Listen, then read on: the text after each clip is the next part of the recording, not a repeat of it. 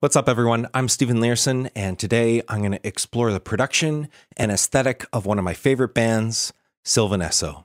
So, Sylvan Esso is a duo from Durham, North Carolina, and they're made up of singer Amelia Meath and producer Nick Sanborn.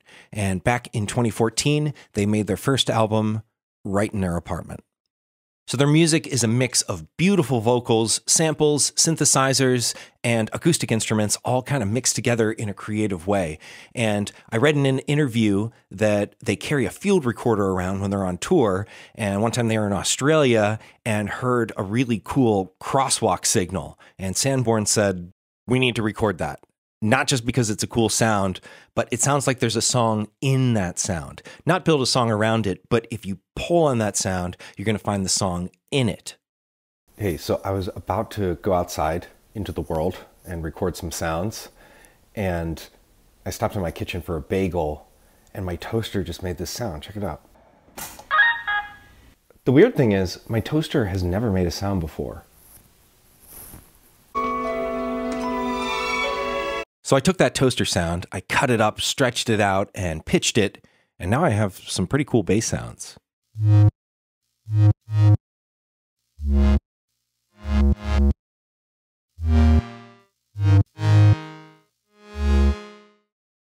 On their first record, it sounds like Sylvan Esso recorded a lot of the vocals with the window open. So you can actually hear cars going by.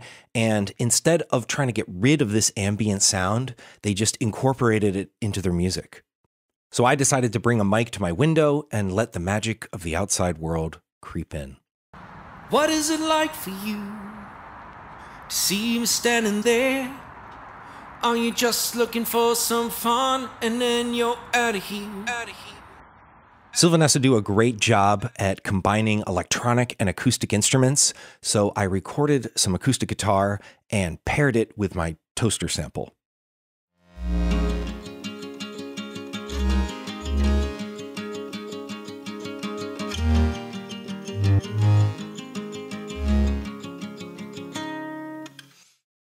A lot of their recordings incorporate a kind of lo fi, trashy drum sound, and I'm in luck because I literally found my drum kit on the curb next to the trash.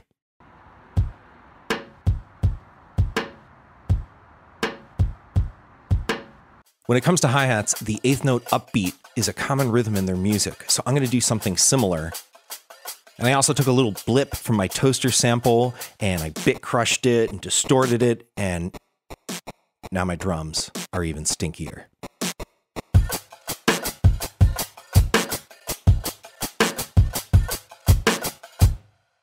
Since my verses have this intimate feeling of living in a small room, now I can make my choruses huge with a wash of reverb and synthesizers.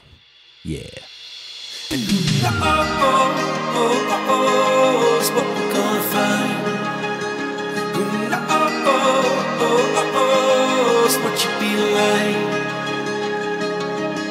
I can't wait to find out.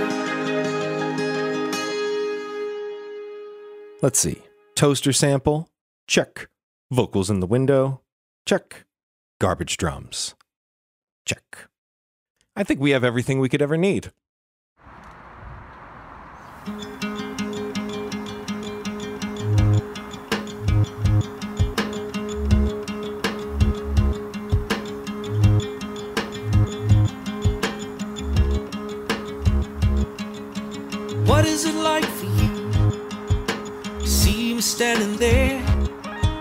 Are you just looking for some fun and then you're out of here?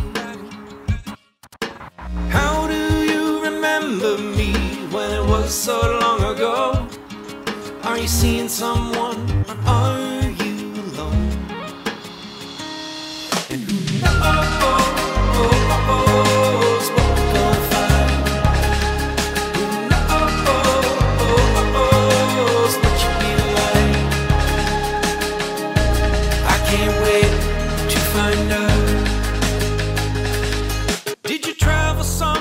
far? Did someone break your heart? Do you folks still live in that house you used to sneak out of? Did you rise up to the top? Did you find the perfect view? Did you become the best and now you don't know what to do?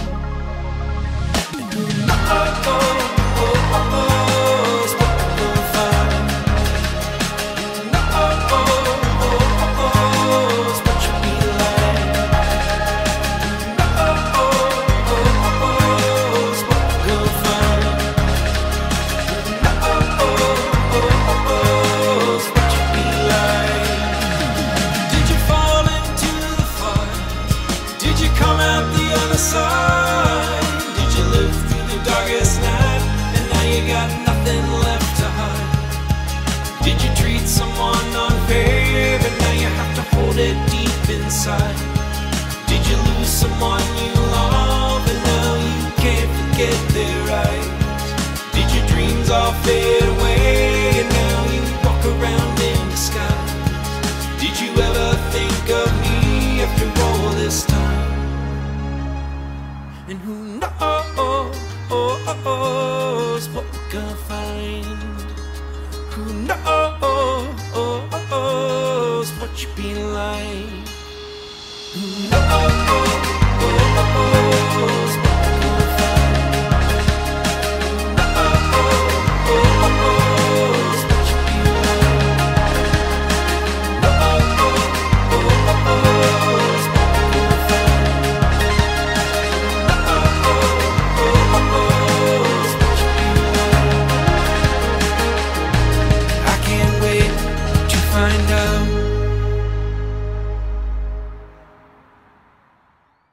So there's a few ideas that I picked up from listening to Sylvan Esso on repeat. And I'm not sure if this is what Sanborn meant by finding a song in a sound, but this is my interpretation. And the good thing is is that these tricks are pretty universal, so you don't just have to use them for the indie synth pop genre or whatever you want to call it. So thanks for watching. If you like this video, please subscribe, ring that notification bell, let me know what you think in the comments, and I'll be back next week with something new for you. All right, we'll see you.